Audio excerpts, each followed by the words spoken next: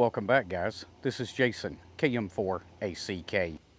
Today I wanted to take a few minutes and look at what went right and what went wrong at Field Day this year. Stick around and we'll jump right into it.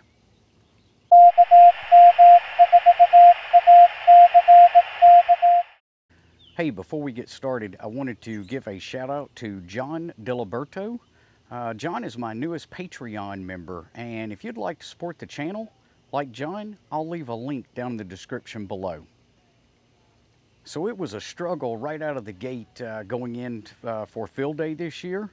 Uh, we arrived on site around 8.30 that morning and uh, was kind of watching radar. We knew that there were some storms maybe going to hit us. Uh, it was kind of a 50-50 shot. Well, uh, turns out we got all 50% of that rain. Uh, so once the once the storm set in, it came in about 10:30. So we never did start setting up. Uh, but once it came in, it came in with a fury. Uh, so we just kind of stuck around and waited that out.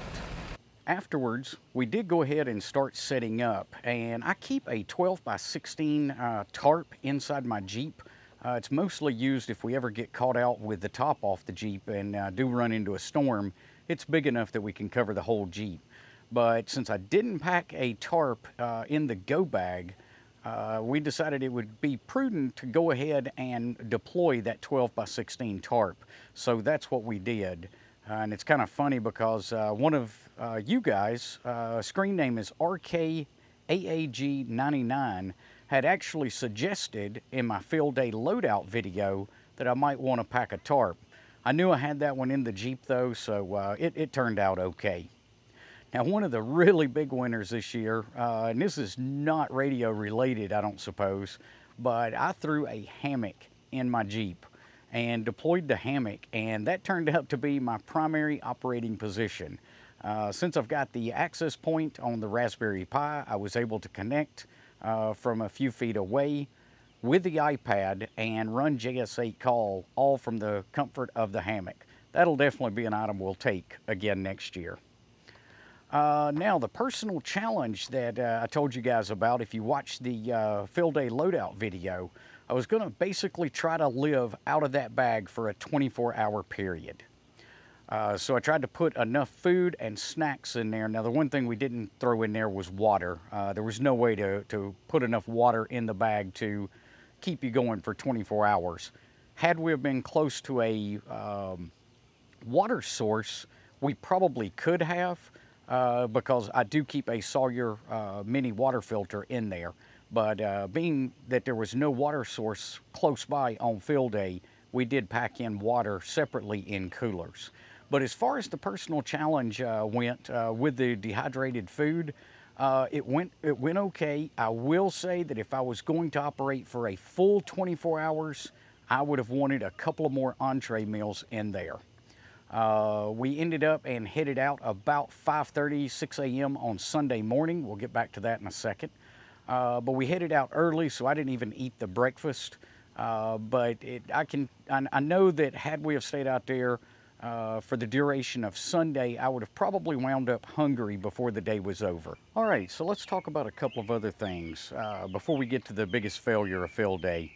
Uh, first, the antenna. And I had planned to use my uh, homemade end-fed half-wave, uh, but it turns out another one of our members was having some issues with his antenna, so I went ahead and let him use that one, and I used the one from TN07 that I've used successfully in the past. The Raspberry Pi performed flawlessly. Uh, I, have got absolutely no complaints with uh, the setup there and the things that we've been doing on this channel. Uh, JS8 worked great, the hotspot worked great. So all in all, I'm very pleased. This was the first field day I had completely relied on the Raspberry Pi, and I couldn't be happier with the performance. Hey, I'm kind of interested, guys. Did you have a failure on field day? If you did, leave it down in the comments below. So let's talk about mine, battery and solar.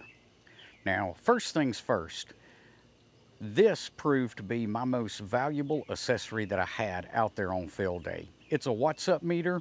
I plugged it up between the battery and the radio, uh, and it told me exactly how much current I had drawn out of my battery. knowing when the battery's full, I've got about uh, but somewhere between 9 and 10 amp hours that I can draw on the lithium iron phosphate batteries. Uh, I could keep track of this and know approximately where I was at uh, with the battery level. So if you don't have one of these guys, I highly recommend it. I'll leave the link down in the description below. So the battery was my biggest failure this year. Uh, I, I, changed over to the new, uh, the new style 10 amp hour uh, lithium iron phosphate batteries and a 30 watt uh, solar panel by PowerFilm.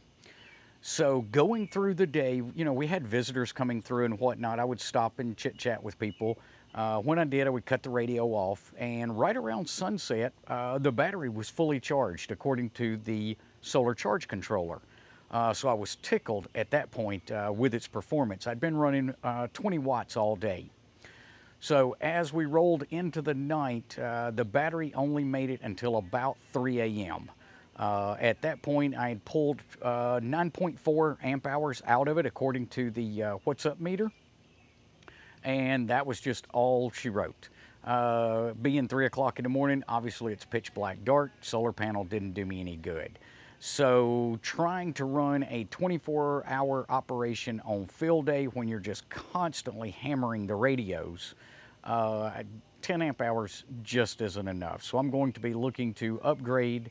Uh, Dakota Lithium is coming out with a new 23 amp hour battery. I have no affiliation with them, but I love their batteries. Uh, so I'll probably wind up purchasing one of those when they come out later uh, in July.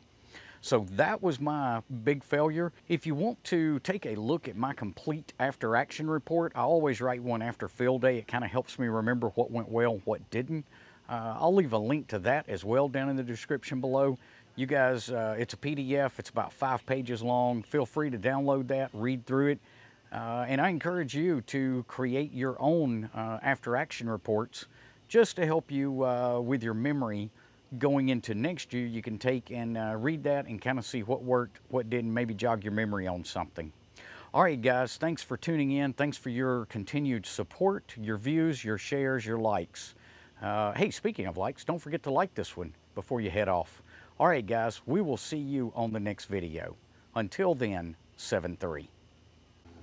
And let the airplane get on by.